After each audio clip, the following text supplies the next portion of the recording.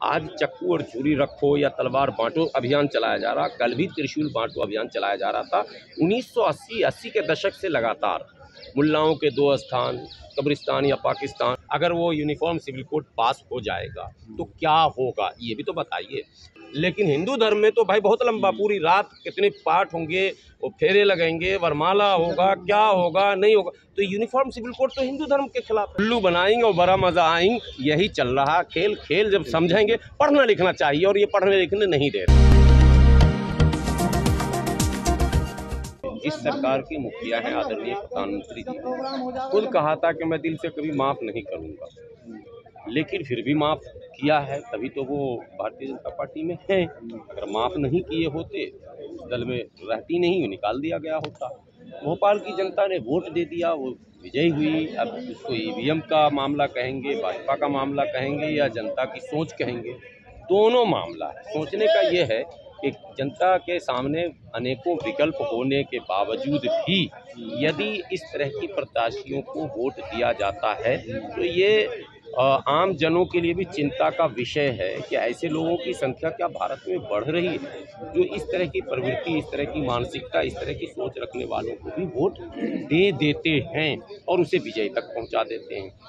दूसरी बात यह है कि संविधान की पूजा करने की बात कहने वाले हमारे प्रधानमंत्री और संविधान के प्रति आस्था हमेशा प्रकट करने वाले हमारे प्रधानमंत्री जी, ऐसे असंवैधानिक व्यवहार करने वाले सांसदों को अगर झेलते रहेंगे, जिसने एक बार आपको याद होगा, राष्ट्रपिता के विषय में भी आपत्तिजनक टिप्पणी की, आपको ये भी याद होगा कि हेमंत करकरे के विषय में कहा था कि शराब हम, मेरे शराब से वो कुछ हुआ, जो घटना हुआ, जबकि हेमंत करकरे एक बहादुर जवान थे, जो देश में के लिए मतलब लड़ते हुए आतंकवादियों को पकड़ने में दुर्घटनावश उनकी शहादत हुई। तो वैसे जवानों को तो हम लोग सलाम करते हैं, वैसे जवानों को हम लोग श्रद्धांजलि देते हैं, वैसे जवानों को हम लोग याद करते हैं अच्छे नामों से।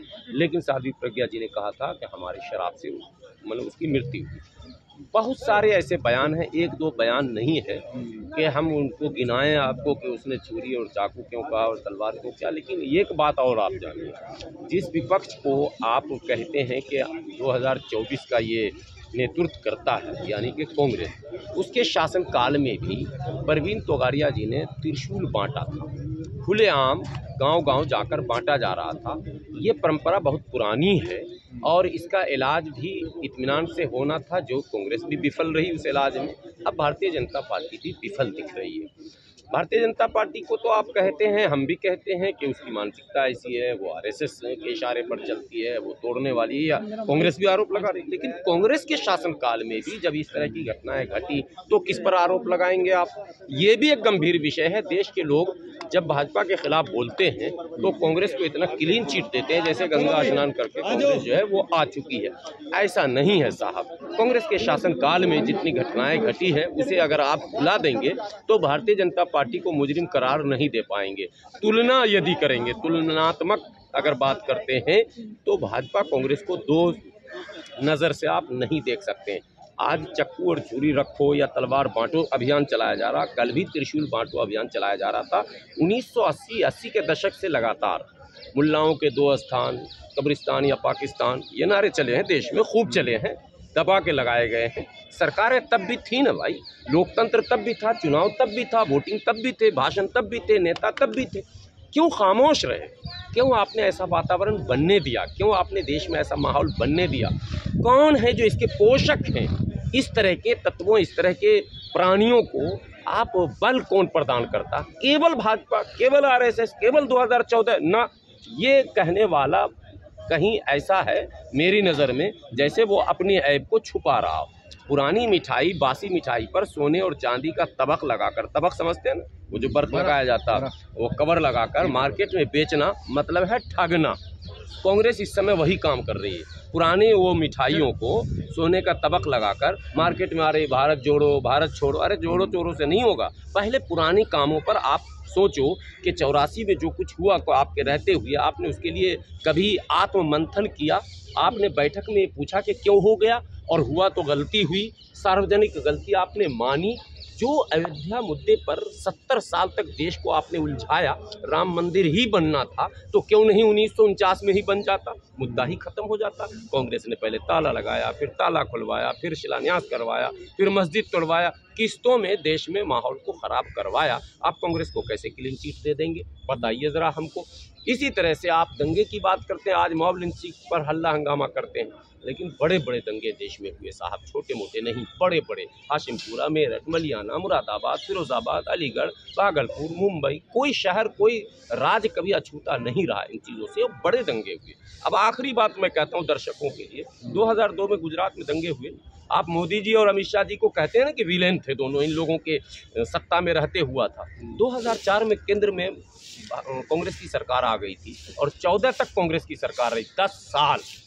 दस साल में आपने ईडी, सीबीआई और तमाम जो इन्फोर्समेंट है तमाम जो आपकी एजेंसियाँ हैं उनका इस्तेमाल करके उन 2002 के दंगाइयों बलवाइयों को आपने पकड़ा क्या?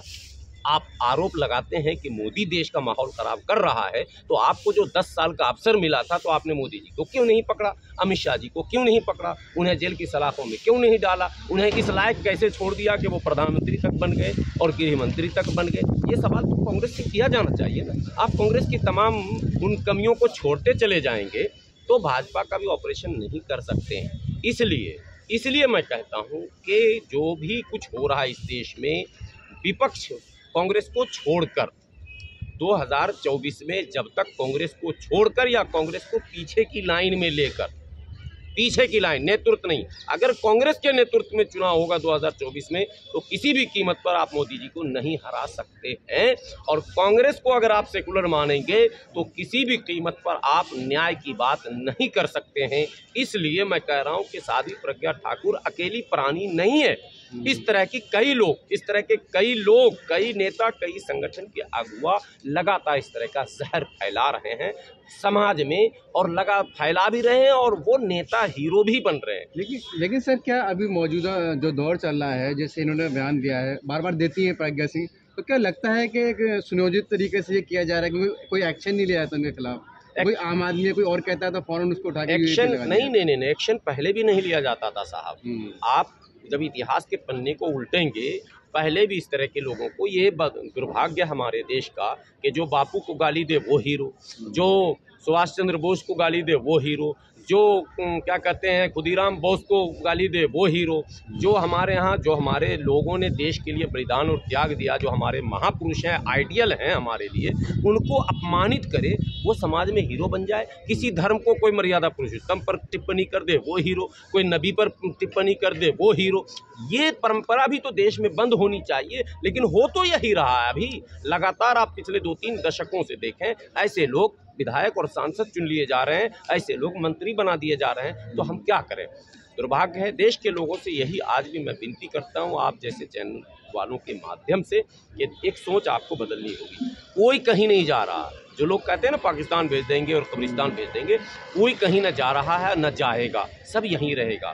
बेहतर है देश में मिलजुल कर रहेंगे। एक परिवार अगर मिलकर रहता है तो वो विकास करता है वो तरक्की करता है वो आगे बढ़ता है वो दुश्मनों से मुकाबला करने में सक्षम होता है। परिवार बिखरता है तो कहावत है गाँव में घर फूटे और गुमार लूटे। तो भारत की स्थिति ऐसी नहीं हो कि हम भाई आपस में धर्म और जाति के नाम पर लड़े। कौन आपको रोक रहा? आप अपने धर्म पर रहिए हम अपने धर्म पर रहें। आप अपनी आस्था आपको मुबारक हमारी आस्था हमको मुबारक। कोई नास्तिक भी हमारे यहाँ है तो उसको भी नहीं रहने देंगे क्या? बहुत सारे ऐसे लोग हैं जो किसी धर्म को नहीं मानते हैं वो आज़ाद हैं स्वतंत्र हैं वो अपना काम करते हैं वो बहुत सारे लोग प्रकृति की पूजा अच्छा, करते हैं आदिवासी हमारे सब न है भाई। जी जी सर जैसे अभी देख रहे हैं कि सरकार कुछ कानून लाने वाली है और ये कहा जा रहा है कि ये मुद्दों से भटकाने के लिए कोरोना का बहाना है या जो ये छुट्टियाँ तेज़ करने वाली बात है जैसे एक नियंत्रण कानून आ रहा है यूनिफॉर्म सिविल कोड है या लेबर चार चार लेबर हाँ। कोड आ रहे हैं। तो आपको लगता है ये ध्यान भटकाने की जो लेबर कोड है? वो पहले उसमें कई बार संशोधन हुआ है उसका विरोध जो मजदूर संगठन है वो कर रहे हैं। हम्म। अब तो आरएसएस के अधीनस्थ जो मजदूर संगठन है भारतीय हम्म। मजदूर संघ हम्म। वो भी विरोध कर रही है और तमाम मजदूर संगठन कर रहे हैं। मैं उस पर बहुत ज़्यादा नहीं कहूँगा लेकिन आपने यूनिफॉर्म सिविल कोड की बात की। यूनिफॉर्म सिविल कोड पर देश को कंफ्यूज किया जा रहा है। कहा यह जा रहा है कि इससे मुसलमान को हम काबू में कर लेंगे। उनकी जो स्वतंत्रता है, वो छीन लेंगे। मैं पूछना चाहता हूँ, यूनिफॉर्म सिविल कोड का मसवदा क्या है? देश को बताया जाए, सार्वजनिक किया जाए। अगर वो यूनिफॉर्म सिविल कोड पास हो जाएगा तो क्या होगा? ये भी तो बताइए। अगर नहीं बताएँगे तो कैसे समझ में आएगा? केवल ये कहेंगे कि अब्दुल को हम टाइट कर रहे हैं।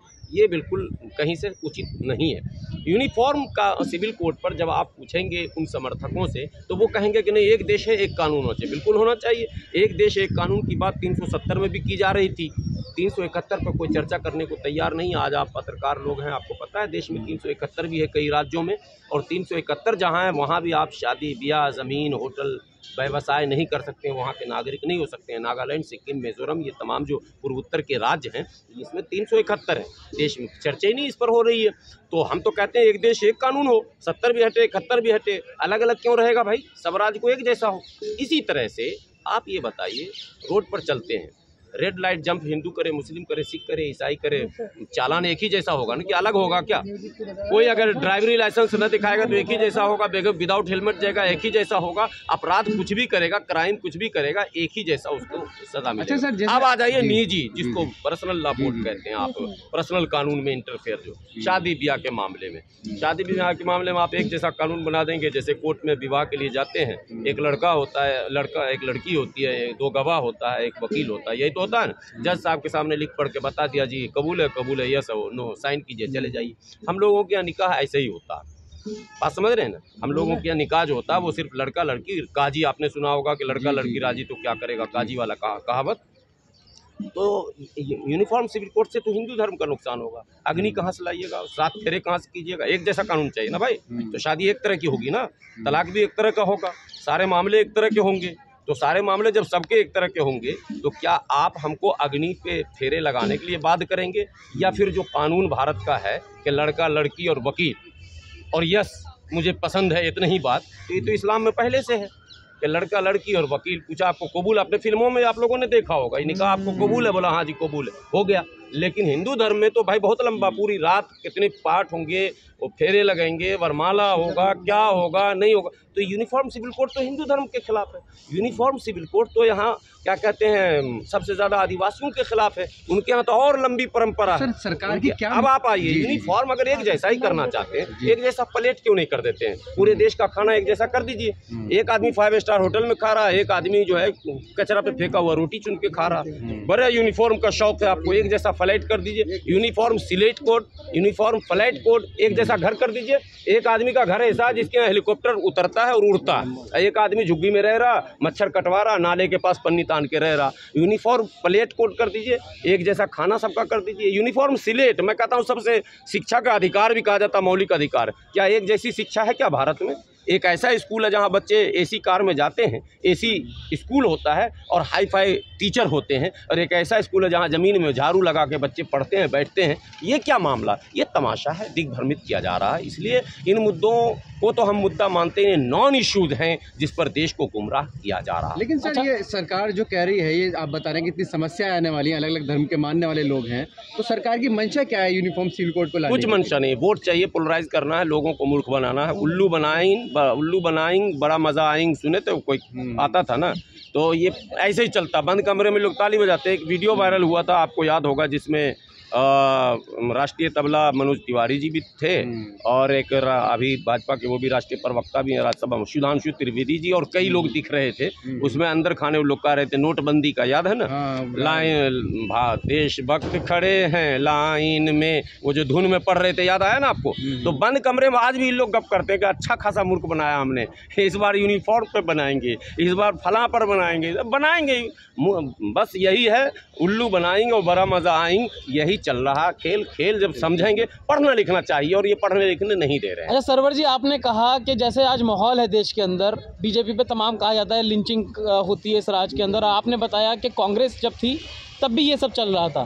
तो ज़्यादा कट्टर हिंदूवादी किसको देखते हैं आप जो सरकार है? देखिए बीजेपी या कांग्रेस? मैं बीजेपी को कांग्रेस से अच्छा मानता हूँ। अच्छी है हाँ सॉफ्ट चीज़ जो है ना आप लोग फिजिक्स केमिस्ट्री पढ़े होंगे बायोलॉजी वगैरह सॉफ्ट जो होता है हम्म। वो बड़ा डेंजर चीज़ होता है। हम्म, सॉफ्ट जो है वो डेंजर चीज़ है।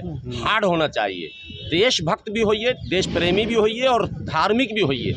जो शुद्ध धार्मिक होगा ना हाँ। वो गलत नहीं करेगा। टाइम का है ना वो साठ साल राज करा ये दस साल राज करे। नहीं नहीं साठ साल में बड़ी लंबी कहानी। है आठ साल को साठ साल से डिवाइड करके भी निकालेंगे तब भी कांग्रेस के खाते में ज़्यादा जुर्म जा रहा। है ये बात मैं कह रहा हूँ। पूरा डिवाइड करके हमने देख लिया कैलकुलेट करके। इसलिए कांग्रेस ये सॉफ्ट हिंदुत्व का चाल जो चल रही है ना इससे इसको निकलना होगा। या तो सेकुलर सरासर मोम हो या संग हो जा दुरंगी छोर एक रंग हो जा ये मेरा संदेश आप अकेले मौलाना जी जो कांग्रेस को ऐसा बोल रहे हैं बाकी सब तो मौलाना सारे मौलाना बोलते हैं मौलाना की मजबूरी है उनके दिमाग में डाल दिया। जैसे हिंदुओं का दिमाग में डाल दिया गया है कि मियाँ को यही टाइट करेंगे वैसे मियाँ के दिमाग में डाल दिया है कि मियाँ को इससे मुक्ति पानी पड़ेगी। मैं मुसलमानों को कहता हूँ कि तार से गिरकर खजूर पर मत अटको और भाजपा के चक्कर में कांग्रेस को नहीं लाना है। हम जब लाएँगे तो ठोक बजाकर लाएँगे, वो तीसरे मोर्चे को लाएँगे, तीसरा पक्ष होगा। अगर प्रधानमंत्री बनवाना है तो नीतीश कुमार को लाइए, प्रधानमंत्री बनवाना है तो और भी लीडर है हमारे पास, स्टालिन है इस तरह के नेता जिन्होंने काम करके दिखाया है पिछड़ों के लिए ओबीसी के लिए एस सी के लिए, माइनॉरिटी के लिए, जो परखे हुए, जांचे हुए हैं, वो लीडर चाहिए। सरवर साहब, अभी जैसे प्रज्ञा ठाकुर ने अभी बयान दिया कि चाकू तेज कर लिए जाएँ, उसके अगले दिन ही गुजरात में एक बीएसएफ जवान की बेटी के साथ अश्लील वीडियो बनाता है, पंद्रह साल का युवक।